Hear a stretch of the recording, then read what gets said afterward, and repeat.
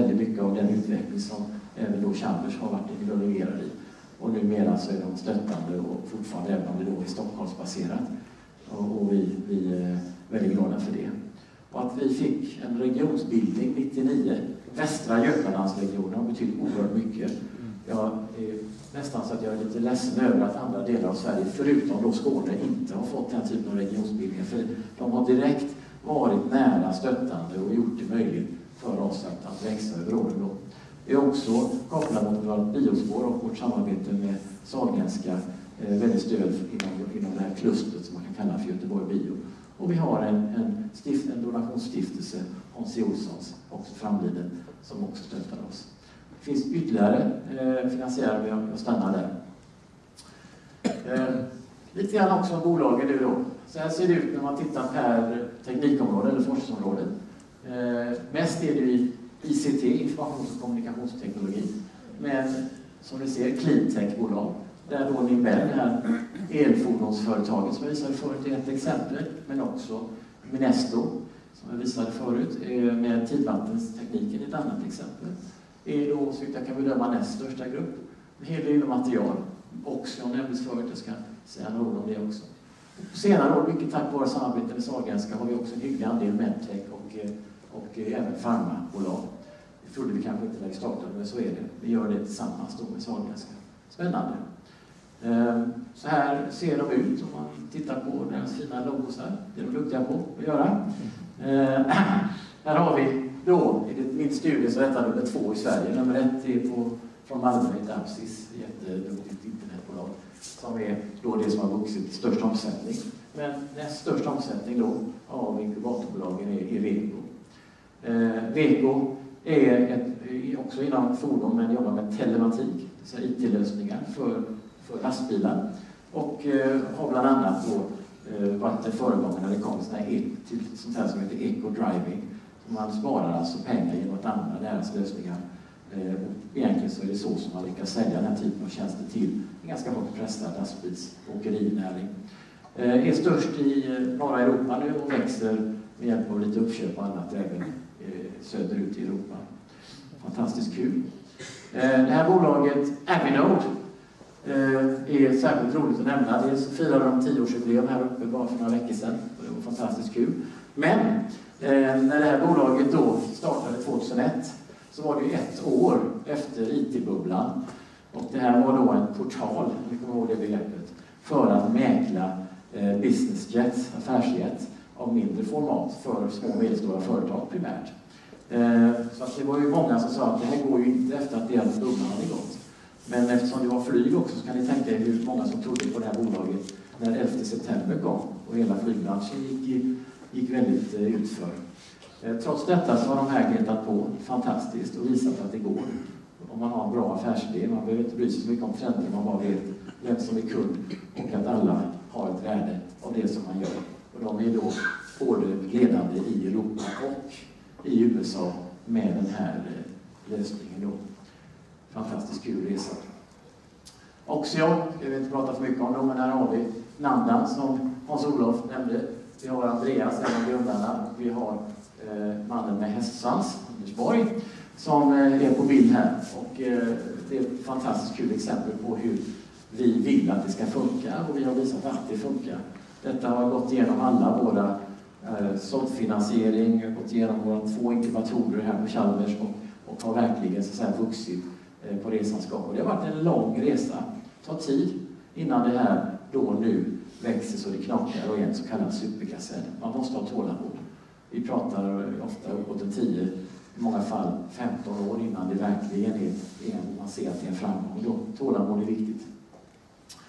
Eh, om vi, sista exemplet då, eh, som jag redan gett då, var Minesto.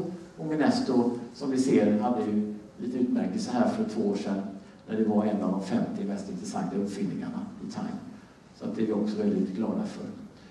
Ehm, men tillbaks till det viktigaste, våra studenter. Vad gör de?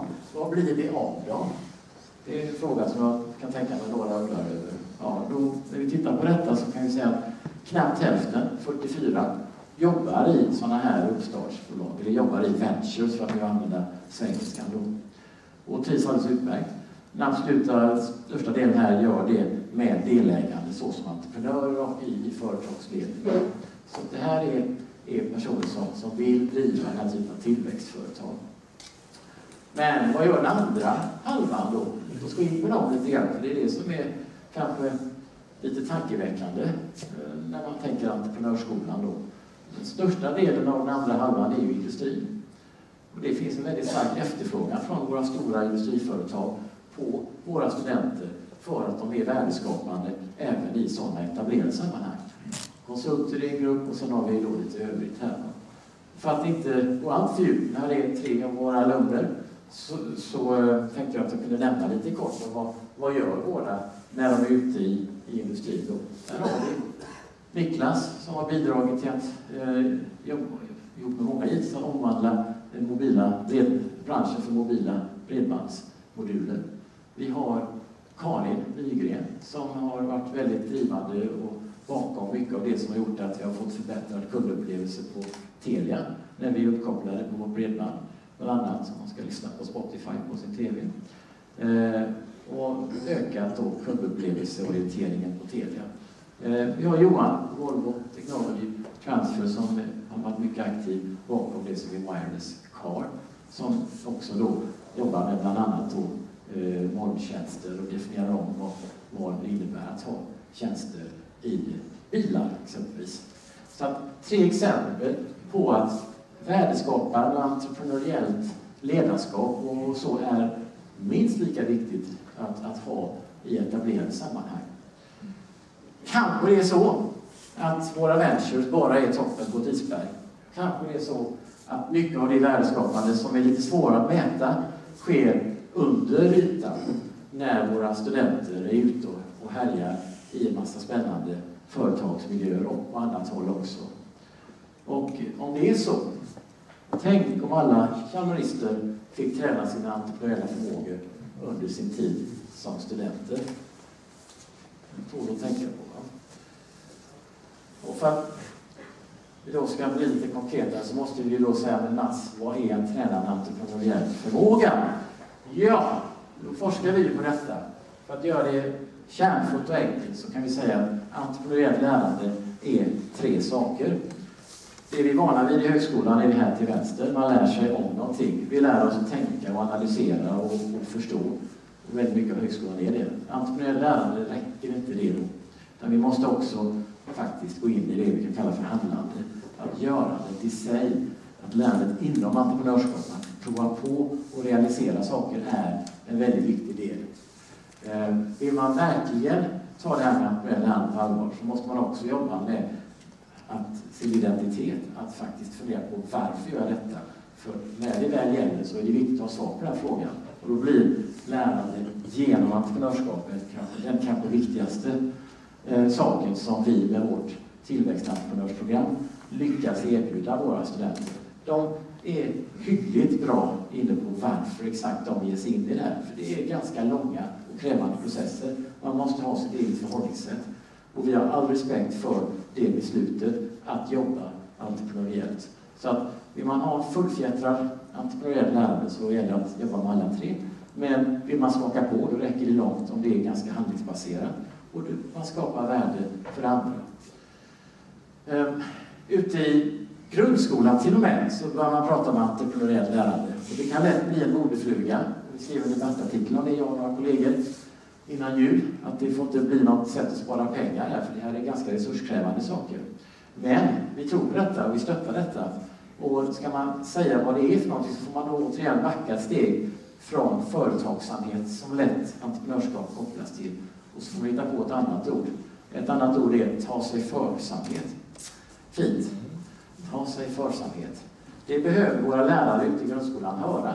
de är kanske inte i första hand inne på hur man bygger bolag. Däremot så är de oerhört duktiga och kreativa och vi jobbar väldigt mycket, inte minst här i Västsverige, med upplägg som är då entreprenöriella. Där man håller på och jobbar i projekt och gör grejer, skapar värde för andra, fast kring alla möjliga olika frågeställningar. Jag påminner om definitionen, det är precis därför jag har denna. Det behöver inte bara vara finansiellt, det kan vara kulturellt, det kan vara sociala värden som skapas. Och det är det som är så att säga, kärnan i en entreprenöriell pedagogik. Ehm, Bortom att Value Creation, jag ska säga det mer så här.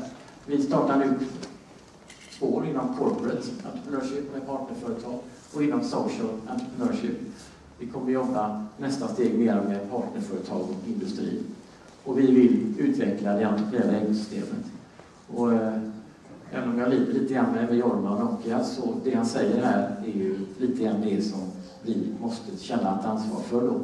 Det var ekosystemet mellan storbolag, universitet och nystartade företag på den amerikanska västkusten, Silicon Valley, som knockade Nokia.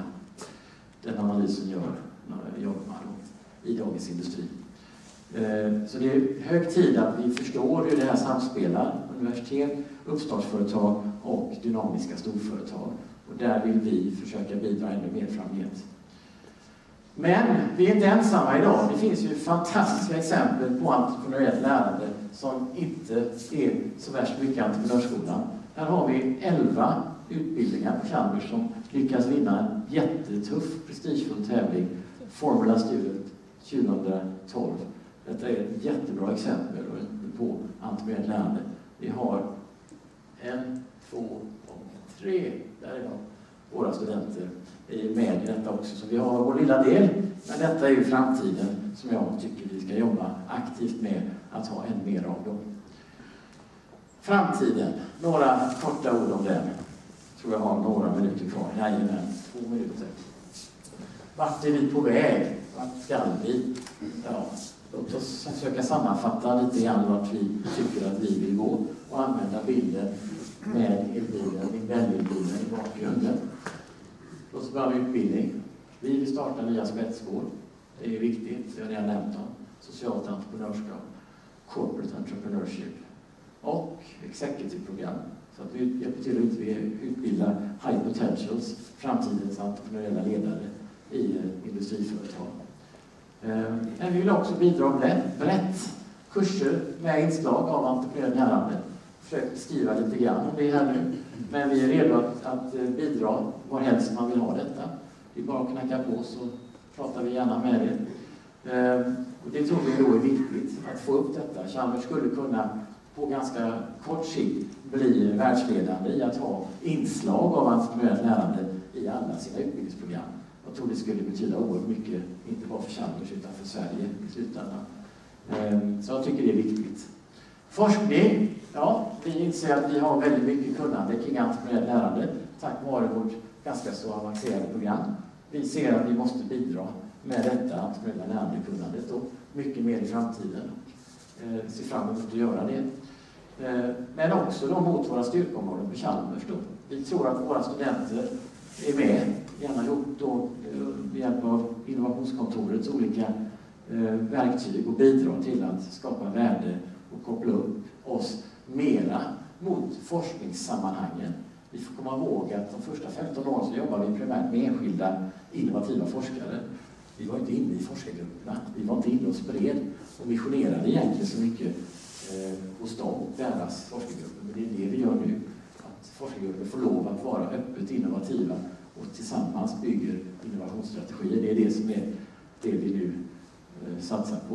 Och detta är då den nya nyttjandestrategin, heter det, som är precis på väg att klubbas här på Chalmers. Där vill vi vara självklart med och bidra.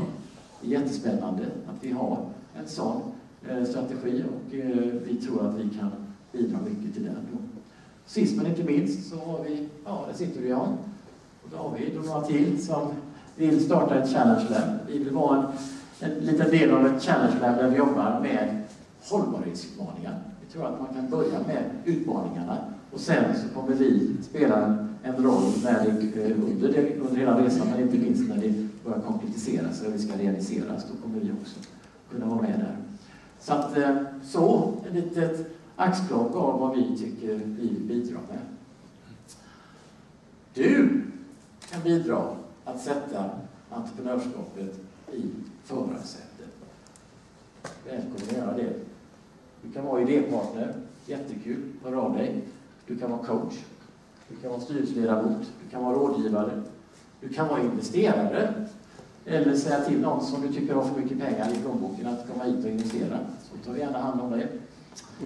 Kan vara till och med donator, eller så kan du säga till någon som som vill vara med och sätta sitt namn så som William har gjort på, på Chalmers eh, så kan man faktiskt få möjlighet att göra det. Eh, av dig så pratar vi självklart även om sådana möjligheter. Det vore väldigt spännande.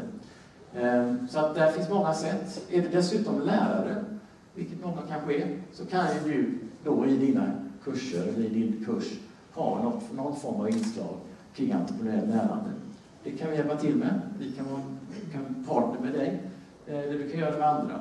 Eh, studenter vet vi älskar sådana inslag. Fråga studentkåren. De vill ha detta med. Hör av dig. Sist, men inte minst. Det är kul att stå här och predika att allting är bra. Det finns en och annan utmaning. Om man läser här då. Jag förväntar mig att vi alla ska vara självständiga, innovativa, kritiska tänkare som gör precis som jag säger. Ja! Yeah. Vi får försöka komma bortom detta. Nu sätter vi entreprenörskapet i förarsätet. Tack ska ni ha.